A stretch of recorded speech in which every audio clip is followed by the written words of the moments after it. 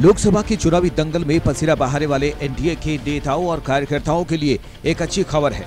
राज्य में होने वाले विधानसभा चुनाव में एनडीए के अंदर उत्साह का डबल डोज देने की तैयारी शुरू हो गई है। सूचना है कि राज्य सरकार सूबे के रिक्त पड़े आयोग, निगम और बोर्ड के पदों पर योग्य नेताओं और समर्पित कार्यकर्ताओं को मौका दे सकती है। हालाँकि ये पहला मौका नहीं है जब इस तरह की सुगबुगाहट देखने को मिल रही है।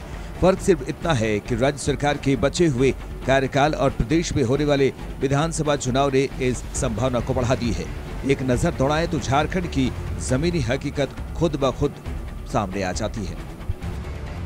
झारखंड राज्य खनिज विकास निगम, झारखंड राज्य बाल अधिकार संरक्षण आयोग, सुन्नी पफ बोर्ड, दिगंबर जैन धार्मिक न्यास बोर्ड, अनुसूचित जाति सहकारिता विकास निगम, आदिवासी सहकारिता विकास निगम युवा आयोग, झारखंड राज्य खादी ग्राम उद्योग बोर्ड, पर्यटन विकास निगम।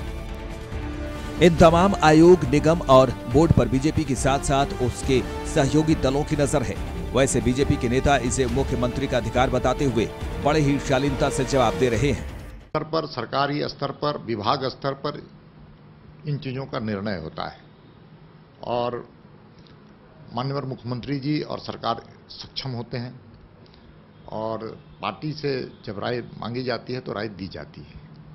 और माननीय मुख्यमंत्री ने कई बोर्डों का निगमों का गठन किया है।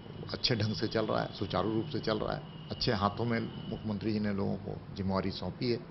बेहतर परिणाम भी आ रहा है।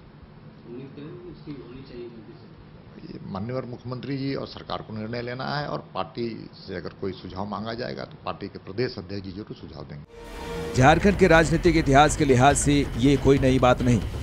इससे पहले भी आयोग, निगम और बोर्ड के पद बरसों बरस तक रिक्त रहे हैं। जिन्होंने इन पदों पर रहकर अपनी जिम्मेवारी निभाई है। वो मानते हैं कि इससे सरकार को नहीं, बल्कि समाज को नुकसान है। बात चाहे बाल अधिकार की करें या अल्पसंख्यकों के सामाजिक विकास की, ये सारी कवायद इन पदों पर होने वाले नियुक्तियों पर टिकी है। राज्य में रहते हैं, जो हमारे बच्चा है, जो संरक्षित हो रहे जो आयोग उसको संरक्षण देता है, वही नहीं है, वही पंगु बना, वही साइफर है। तो सरकार को तो बचत है, सरकार तो पैसा बच रही है उसको, जो सैलरी मिलता है आयोग के मेंबर को, सदस्य को। लेकिन सफ़र कर रहे हैं हमारे बच्चे। उसी तरह से महिला आयोग है फुल फ्लेज नहीं है। मानव अधिकार आयोग है, राज्य में होता है। वहाँ कोई नहीं है। किसी तरह का, किसी भी व्यक्ति के साथ अगर किसी तरह का उसका अधिकार का हनन होता है, कहाँ जाएगा? सूचना आयोग है, वहाँ एक पदाधिकारी है छः छः वैकेंसी है। झारखंड में रिक्त पड़े इन आयोग, निगम और बोर्ड के पदों पर शत प्रतिशत नियुक्ति तो संभव नहीं है, पर विधानसभा चुनाव को ध्यान में रखते हुए राज्य सरकार ये दांव ज़रूर खेल सकती है।